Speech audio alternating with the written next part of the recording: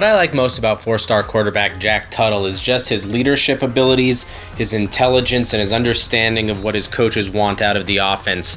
At the Battle at the Beach tournament a couple weekends ago, he hit some really nice passes, uh, threw some balls that were a little farther than his receivers could catch up to, uh, but it wasn't really a fair comparison because Tuttle honestly doesn't have many Division One athletes on his team, so the ball has to be put into really tight windows and kind of he's not used to that speed. He's used to more uh, elite speed playing with top end athletes like he did at the opening.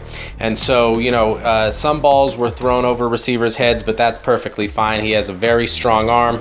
He can make all the throws, and really, I like his cerebral attitude, and I think he's going to take that to Utah be in the uh, film room all the time with the coaches, really understand what they want, and then go out and deliver it on the field. So for the Utes to keep him, uh, USC had been involved, um, was very big for them, and I think he's going to be a tremendous player down the line.